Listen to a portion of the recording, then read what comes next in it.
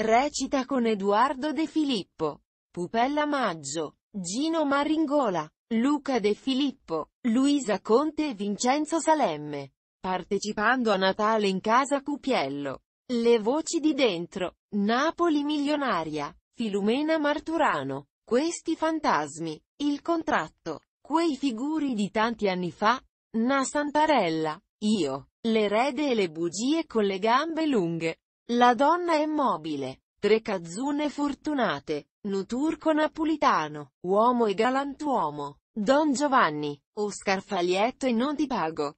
Nel 1982 partecipa al Festival dell'Operetta presso il Teatro Verdi di Trieste con lo spettacolo La Rosa di Istanbul. Recita con Gigi Savoia, Gianfelice Imparato e Marioletta Bineri.